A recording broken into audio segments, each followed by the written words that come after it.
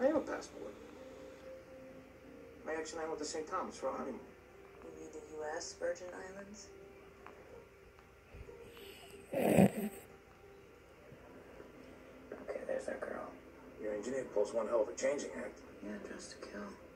Still got that package in her shoulder bag. Good, I'll watch the front.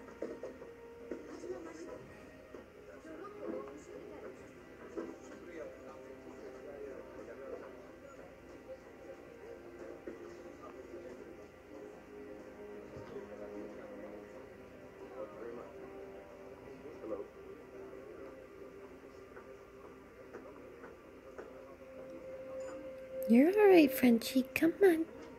Come on, little pink lady.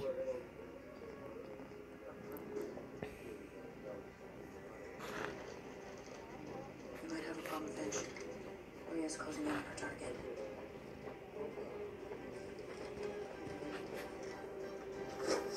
You want proof? There's proof. Is everything all right, Miss Shaw? False alarm. None of us were worried about paper cuts. Do I know you? Omar Risha is not a terrorist. He worked for U.S. forces in Iraq and for my company as a translator. There's a recommendation in here from my boss, Ken Davis. What more proof do you want? Let me guess.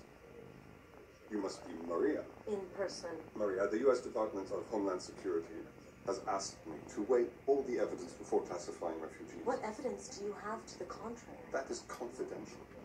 But let me assure you, Omar Rishat will